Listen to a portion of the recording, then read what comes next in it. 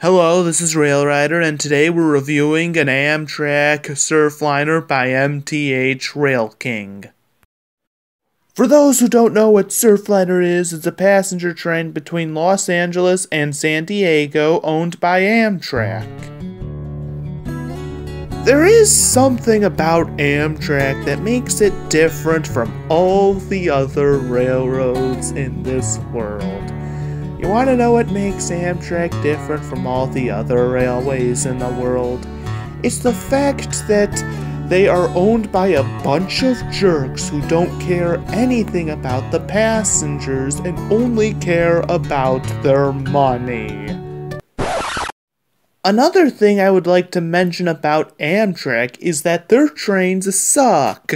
Riding on it sucks. The food suck. The delays suck. Their employees should get a real job. Don't take Amtrak. I know this is an odd thing to hear from a rail fan, but this right here, if this is not a big punch in the face for a rail fan, I don't know what is. So the engine it's being pulled by is an F-59 diesel. Amtrak doesn't use these anymore. They have sold their F-59s to Metra, and now they use the Siemens Charger. Well, Los Angeles has been getting a lot of Chargers lately. They have been getting some Amtrak Chargers, Metrolink Chargers, Amtrak Surfliner Chargers, and the San Diego Chargers. So the version I'm showing you is a Protosound 2.0 engine. When I got it, it was one of the best diesels in my collection. I bought it at the train show, and it comes with smoke, electro couplers, ditch lights, great quality sounds was my best engine until I bought a Lionel Katy Heritage unit, which also comes with smoke, electrocouplers, ditch lights, and great quality sounds.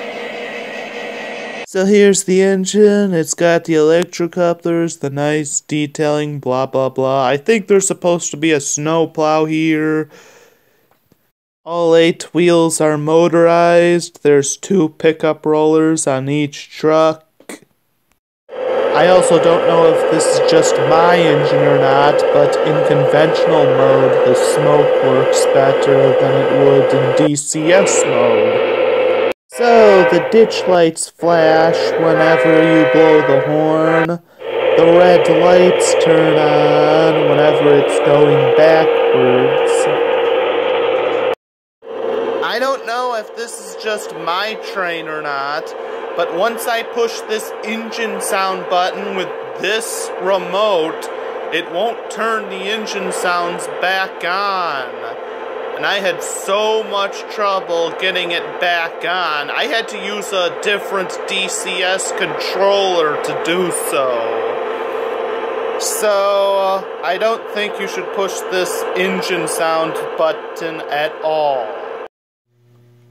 Should they have a button that permanently turns the engine sounds off and only say engine sound? I mean, that's not right. I mean, I had no idea it was going to permanently turn the engine sounds off.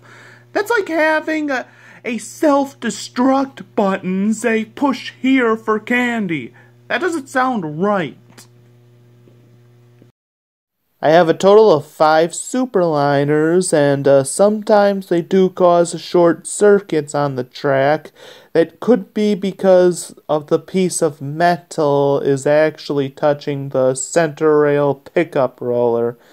You're gonna have to move it a little bit to solve that problem, and tighten a screw. Overall, it's a really good train. The sounds are great, it runs great, I have a lot of fun with it, and I hope you enjoyed this video. When I bought it, I just got lucky and bought it at the train show with a sweet deal of $200. Lucky me that day. Lucky me.